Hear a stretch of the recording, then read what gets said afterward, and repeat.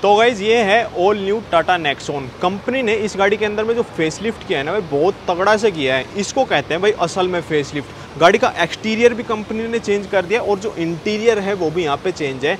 ये जो आप इसका वेरिएंट देख रहे हो ना सेकंड बेस वेरिएंट है, यानी कि प्योर एस वेरिएंट है। इससे नीचे भी एक वेरिएंट आता है प्योर फिर उससे नीचे भी स्मार्ट वेरिएंट में आ जाते हैं, काफ़ी वेराइटी है। तो हर लोगों के लिए, अलग नीड के लिए सारी चॉइसेस जो है टाटा ने यहाँ पर फुलफिल की है। आज की वीडियो में बताऊँगा कि इस प्योर एस वेरियंट में आप लोगों को क्या क्या चीज़ें मिल जाती हैं। अगर गाइज़ आप टाटा की कोई भी गाड़ी परचेज करना चाहते हैं तो डीलरशिप का कॉन्टैक्ट नंबर जो है मैं नीचे स्क्रीन में शो कर दूँगा। और जो ये गाड़ी है ना, ये आपको पेट्रोल इंजन और डीजल इंजन दोनों के अंदर मिल जाएगी, जो इस गाड़ी का बेस वेरियंट आएगा, वहाँ पे आप लोग को डीजल इंजन नहीं मिलेगा, और डीजल इंजन में भी आप लोग को ऑटोमेटिक ट्रांसमिशन मिल जाएगा। जो इस गाड़ी का डीजल इंजन के अंदर में ऑटोमेटिक ट्रांसमिशन आएगा, वो आपका एएमटी वाला आएगा, और जो पेट्रोल इंजन के अंदर में आप लोग का ऑटोमेटिक ट्रांसमिशन आएगा, वो डीसीटी वाला आएगा। पर डी ऐसी नहीं है कि इसके अंदर में टर्बोचार्ज वाला इंजन है, ऐसा नहीं है। डीसीटी ट्रांसमिशन के अंदर भी आप लोगों को क्या है 1.2 लीटर का वही थ्री सिलेंडर वाला इंजन मिलता है। और जैसे इस गाड़ी का जो बेस वेरिएंट है ना, वहाँ पे आप लोगों को पेट्रोल इंजन में फाइव स्पीड गेयर बॉक्स मिलेगा। बाकी उस सुपर वेरिएंट में आपको मैनुअल मैनुअल ट्रांसमिशन में सिक्स स्पीड का गेयर बॉक्स मिल जाएगा। और बेस वेरिएंट में डीजल तो आता है नहीं, और उसके अंदर भी क्या आपको मैनुअल ट्रांसमिशन में सिक्स स्पीड गेयर बॉक्स ही मिलेगा। जैसे आप इस गाड़ी की की देखोगे ना तो यहाँ पे आप लोग को फोल्ड लेवल वाली मिल जाती है लॉक अनलॉक फॉलो में हेडलैम्प के लिए स्विच मिल जाता है। बट जो दूसरी की है, वो यहाँ पे सिंपली आप लोग को मिलती है। भाई, जो इस गाड़ी का ये कलर है ना, ये सोलिड के अंदर दे रखा है मेटेलिक फिनिश के अंदर नहीं दे रखा है, और ये ग्रे सा कलर है। भाई, देखने में बहुत ज़्यादा तगड़ा सा लग रहा है। ऐसा कलर लग्जरी गाड़ियों के अंदर में आता है, और ये कलर देखने में सच में बहुत ज़्यादा अच्छा लगेगा। जो ग्रे कलर लेना चाहते हैं ना, वो भाई, इस कलर को बिल्कुल परचेज कर सकते हैं। ऊपर से ब्लैक ट्रीटमेंट के साथ में ये कलर तो लगा लो, चार चाँद लगा रहे हैं। इस गाड़ी के अंदर में आप लोग को एलईडी इंडिकेटर्स मिल जाते हैं, जो कि ड्यूअल फ़ंक्शन वाले आते हैं। इंडिकेटर का काम करते हैं डी का भी काम करते हैं। और जो गाड़ी की हेडलाइट है, वो आप लोग को प्रोजेक्टर एलईडी वाली मिलती है। बट नीचे की तरफ़ जैसे आपने देखा होगा ना टॉप एंड वेरियंट में यहाँ पे भी एक एलईडी लाइट आ जाती है। वो चीज़ जो है, इस वाले वेरियंट में आप लोग को नहीं मिलेगी। इस वेरियंट के अंदर में कोई आपको फ्रंट में पार्किंग सेंसर या फिर कैमरा भी नहीं मिलेगा। इस गाड़ी का जो ग्राउंड क्लियरेंस है ना, बहुत अच्छा सा मिल जाता है 208 एम का। तो गाड़ी से आप ऑफ़ रोड भी करोगे तो कहीं भी बेझिझक इस गाड़ी के अंदर में जा सकते हो। ओ आर वी एम यहाँ पे दे रखे हैं पियानो ब्लैक फिनिश के। इनके ऊपर में एलईडी में इंडिकेटर्स मिल जाते हैं। ये फोल्ड एंड फोल्ड तो आप लोग को मैनुअली करने पड़ेंगे बट जो इनकी एडजस्टमेंट है, वो इलेक्ट्रिकली हो जाती है। बट जो गाड़ी के डोर हैंडल्स हैं ना, ये आप लोग को अनपेंटेड मिलेंगे। और विंडो के नीचे से आप ये पार्ट देख रहे हो ना, ये भी यहाँ पे अनपेंटेड मिलेगा। एस वेरियंट है, इसके अंदर एस वेरियंट के आप लोग को इलेक्ट्रिक सनरूफ भी मिल जाएगी। प्लास्टिक की रूफ रेल्स यहाँ पे मिल जाती है और शार्क फिन का एंटीना मिल जाता है जो कि पियानो ब्लैक फिनिश के अंदर में आता है। ये गाड़ी आपकी 44 लीटर की फ्यूल टैंक कैपेसिटी के साथ में आती है और जैसे देखोगे ना यहाँ पे रफ क्लैडिंग का भी इस गाड़ी के अंदर में यूज़ मिल जाएगा। फ्रंट तो गाड़ी के अंदर में डिस्क ब्रेक आता है, बट जो रियर है गाड़ी के अंदर में ड्रम ब्रेक ही आता है। व्हील कवर जो है, इस वाले वेरिएंट के अंदर मिलते हैं। गुडियर के टायर हैं 195 60 आर सोलह इंच का है। देखो, जो डायमीटर है ना, वो तो बिल्कुल सेम मिलता है टॉप एंड वेरिएंट जितना। पर डिफरेंस क्या है, जैसे जो टायर की चौड़ाई है ना, यहाँ पे नीचे वाले वेरिएंट क्या है 195 है। पर जो इसका टॉप वेरिएंट था, वहाँ पे क्या था 215 टायर की चौड़ाई गाड़ी के अंदर में मिलती थी। भाई, जो गाड़ी की फिट एंड फिनिश है, बाहर से भी काफ़ी अच्छी हो चुकी है और इंटीरियर से भी गाड़ी के अंदर में फिट एंड फिनिश काफ़ी बढ़िया सी हो चुकी है। लुक वाइज देख लो आप गाड़ी को, कहीं से देख लो बैक से साइड से फ्रंट से, हर एक एंगल से अच्छी लगेगी। फ्रंट फेसिया और जो रियर फेसिया है वो इस गाड़ी का काफ़ी बढ़िया सा यहाँ पे चेंज किया गया है। पीछे की तरफ़ में कोई आपको डिफोगर वाइपर नहीं मिलेगा।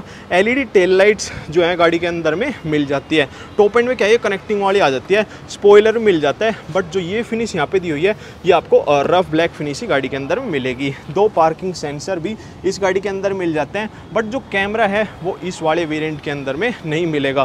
पीछे की तरफ़ में रिफ्लेक्टर मिल जाते हैं, जो इस गाड़ी की फ्यूल लीड है ना, ये ऐसे बाहर से दबाने से ओपन नहीं होती है। आपका पेट्रोल हो चाहे डीजल हो, दोनों के अंदर में बिल्कुल सेम ही कैपेसिटी मिलती है। टेलगेट को ओपन करने के लिए ना, यहाँ पे कोई मैग्नेटिक स्विच नहीं दिया हुआ है तो शायद इसी से होगा इसका टेलगेट ओपन हाँ इससे होता है। जो इसकी फॉलो में हेडलैम्प है ना, इसको आप लॉन्ग प्रेस करके रखोगे तो जो गाड़ी का टेल गेट है, यहीं से ओपन हो जाएगा। 382 लीटर का इस गाड़ी के अंदर में आप लोग को जो है बूट स्पेस मिल जाता है। भाई बूट स्पेस के मामले में तो मेरे को ठीक लगी बट इस वाले वेरिएंट के अंदर में कोई आपको पार्शल ट्रे नहीं मिलती है, और बूट लैम्प भी जो है, इस वाले वेरिएंट के अंदर में नहीं मिलता है। स्पेयर व्हील की प्लेसमेंट है, नीचे की तरफ़ में दे रखी है 195 60 आर सोलह इंच का। बिल्कुल सेम ही टायर सेक्शन आप लोग को इस वाले वेरिएंट के अंदर में मिलता है। एलईडी लाइट्स दे रखे भाई बड़े बढ़िया है। अपने गाड़ी के इंटीरियर्स में दिखाता हूँ कि क्या क्या चीज़ें जो हैं आप लोग गाड़ी के अंदर में मिल जाती है। हाइट एडजस्टेबल सीट आप लोग को इस वाले वेरियंट के अंदर नहीं मिलती है और फैब्रिक की ही सीट अपोल्स्ट्री यहाँ पे आती है। एयर बैग भी जो है गाड़ी के अंदर मिल जाता है। फ़र्स्ट रो में क्या है? एडजस्टेबल वाले हेडरेस्ट मिलते हैं। यहाँ पे चारों पावर विंडो के जो है स्विचेज मिल जाते हैं और ये इसके ओ आर कंट्रोल दे रखे हैं, जो गाड़ी के डोर हैंडल्स हैं। ये आप लोग को पियानो ब्लैक फिनिश के साथ ही मिलते हैं। डेड पेडल मतलब बिल्कुल थोड़ा सा ही उठा हुआ यहाँ पे, दिया हुआ है। अपना इंटीरियर से दिखाता हूँ। भाई ये ऑल द वे बैक है। जो गाड़ी का स्टेयरिंग व्हील है ना, भाई ये बहुत ज़्यादा तगड़ा सा यहाँ पे हो चुका है। टू स्पोक स्टेयरिंग व्हील है, और जो टाटा का लोगो है ना भाई, ये ग्लो करता है भाई। अभी देखो फ़ोन में थोड़ा सा टिप टिप टिप टिप से करता हुआ दिख रहा है, इस वजह से पता नहीं चल रहा है। और हॉर्न क्या है? सिंगल इस वाले वेरियंट के अंदर मिलता है। यहाँ पे आपको सारे म्यूज़िक सिस्टम के कंट्रोल मिल जाते हैं, और इस साइड में जो इसकी एमआईडी है ना, उससे रिलेटेड गाड़ी के अंदर में कंट्रोल मिल जाते हैं। जो इसका टेकोमीटर दे रखा है, वो यहाँ पे बार्स में शो करता है, और स्पीडोमीटर जो है, यहाँ पे डिजिटली शो करता है। और जो है टीपीएमएस देखते हैं गाड़ी के अंदर में है नहीं है। ट्रिप है, ट्रिप भी है, ओडोमीटर है, बस यही चीज़ जो है इसके अंदर में शो करता है। भाई नॉर्मल सी इन्फॉर्मेशन है इसके अंदर में और टच स्क्रीन डिस्प्ले भी गाड़ी के अंदर मिल जाती है। मतलब सेकंड बेस वेरिएंट में टच स्क्रीन डिस्प्ले जो पुरानी वाली थी ना टच स्क्रीन डिस्प्ले वही वाली मिलती है और स्पीकर की क्वालिटी भाई ग्लास वाली मिल जाती है। जो पुरानी नेक्सोन आती थी ना, उसके अंदर में क्या था, जो फिट एंड फिनिश होती थी इतनी बढ़िया नहीं मिलती थी, पर अब इस वाले गाड़ी के अंदर में जो फिट एंड फिनिश है, काफ़ी बढ़िया इस मिल जाती है। इस वाले वेरियंट में हार्ड है हार्ड है हार्ड है हार्ड है।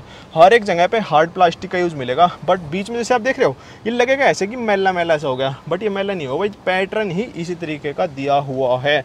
ओ भाई साहब यार, ये ऑटोमेटिक क्लाइमेट कंट्रोल है मैनुअल वाला है। देखो, बिल्कुल भी नहीं पता चल रहा। है ये मैनुअल वाला? जैसे देखो, हवा को मंजी तेज करूँगा, नहीं, यहीं पे शो करता है। टेम्परेचर नहीं आता है। बट ये चीज़ जो है ना, बड़ी बढ़िया से दे रखी है और टच रिस्पॉन्स के साथ में ये काम करता है। तो मतलब फील ना पूरी टॉप एंड वेरियंट जैसी मिलेगी। सिक्स स्पीड गेयर बॉक्स आएगा आपका गेयर नॉब देखने में बिल्कुल टॉप एंड वेरियंट जैसा ही यहाँ पे मिलता है। ट्वेल्व वोल्ट का शॉक किट है यूएसपी के लिए मिल जाएगा। मोड्स मिल जाते हैं city eco and sports mode arm rest जो है, इस वाले वेरियंट में आप लोग को नहीं मिलेगा। आई क्या है? मैनुअल डे नाइट वाले मिल जाते हैं और रीडिंग लैम्प गाड़ी में एलईडी वाली मिलती है सनरूफ के लिए भी भाई यहीं पे बटन्स दे रखे हैं। ओपनिंग तो उतनी होती जितनी भाई पुरानी वाली नेक्सोन के अंदर में होती थी। और जो रूफ है ना, यहाँ पे आप लोग को ऑल ब्लैक कलर के अंदर में नहीं मिलती है। ग्लो बॉक्स अच्छा बेहतरीन वाला मिलता है। बेहतरीन जिसको कहते हैं ना, वो वाला मिलता है। बट ये इल्यूमिनेटेड जो है, यहाँ पे नहीं मिलेगा। विजिबिलिटी वाइज बात करें सीट पूरी ऊपर नहीं है। तब भी जो है, मैं इस गाड़ी के मतलब डैशबोर्ड से लेवल से मैं बैठा हूँ। मतलब हल्का से नीचे लगा लो तो कोई दिक्कत जो है, यहाँ पे विजिबिलिटी में नहीं आएगी। साइड विंडो से बात की जाए तो यहाँ से हल्का से नीचे बैठा हूँ, पर विजिबिलिटी में कोई दिक्कत नहीं है। और जो ओ है, इनके अंदर से भी बिल्कुल बढ़िया सा व्यू यहाँ पे आ जाता है। तो गाड़ी को चलाने में एक नंबर का मज़ा आएगा।